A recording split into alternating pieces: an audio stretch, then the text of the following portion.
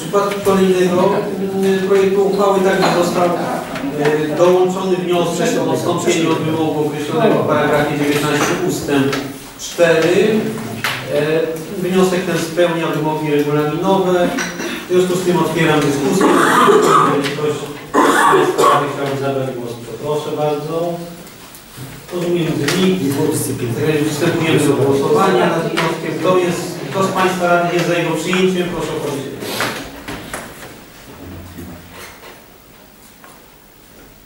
Dziewiętnaście.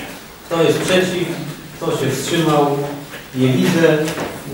W związku z tym proszę Pana Przewodniczącego o przedstawienie projektu uchwały. Szanowni Państwo, rozpoczynamy teraz cykl yy, wydawania opinii dotyczącej tej samej inwestycji przy ulicy Skowronie. Ja może raz przedstawię, a a już później było troszeczkę krócej.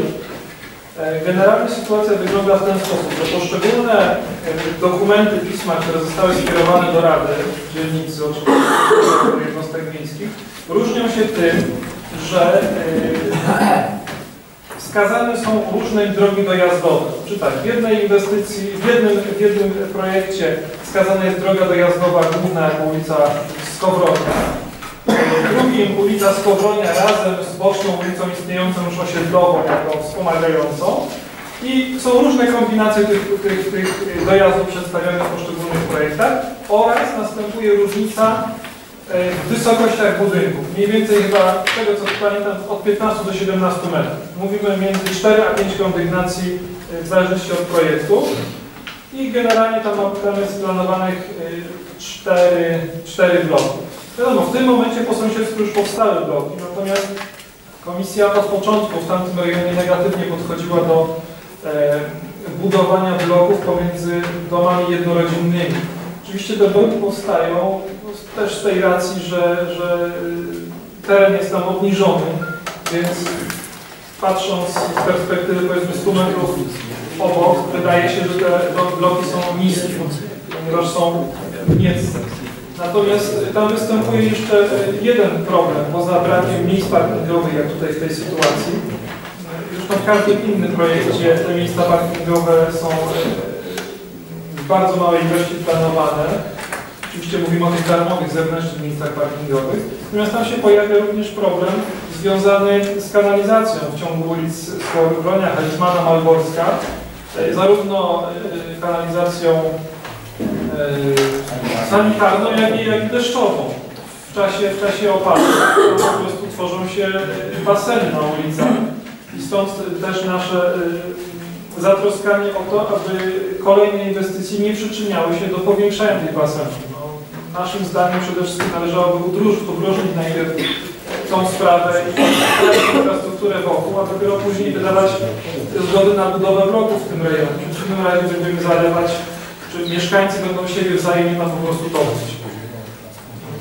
Więc y, wracając do druku 8213, opiniuje się negatywnie zamierzenie inwestycyjne, budowa zespołu trzech budynków mieszkalnych wielorodzinnych z lokalami usługowymi garażem podziemnym na działkach, tutaj są numery podane, i ze zjazdami drogi publicznej, dwoma zjazdami drogi wewnętrznej przy ulicy. Dziękuję. E, No, chciałbym Państwa poinformować, że pozytywnie zaopiniował przedłożony przez Komisję projekt uchwały i otwieram dyskusję nad projektem.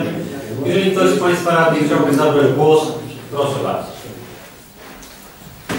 Pan e, Przewodniczący Sejmu. Tam y, tutaj prawdę powiedział przewodniczący Komisji Infrastruktury, chodzi o kanalizację sanitarną i deszczową.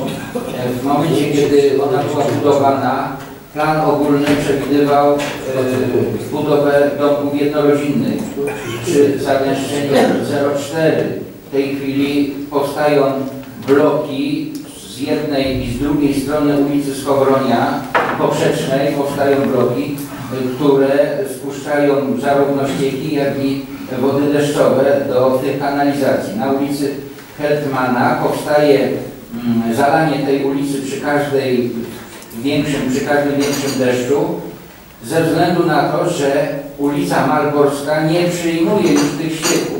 Po prostu kanał 1200, który jest z ulicy Malborskiej jest już za mały i nie przyjmuje tych ścieków. W tej, w tej chwili, jeżeli y, dojdą nam, dojdzie nam zabudowa wielorodzinna, okaże się, że w przyszłym roku będzie wystąpienie do Rady o przebudowa, przebudowę kanalizacji.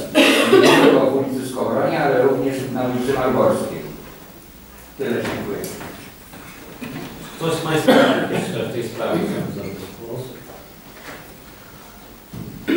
Rozumiem, że nikt. E, W związku z tym e, głosowania nad e, projektem uchwały według druku nr 8213. Kto z Państwa radnych jest za podjęciem uchwały w tej sprawie? Proszę o o podniesienie ręki.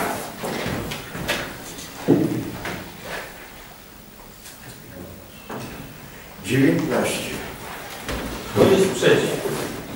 Kto się wstrzymał? Widzę, tym samym uchwała została podjęta.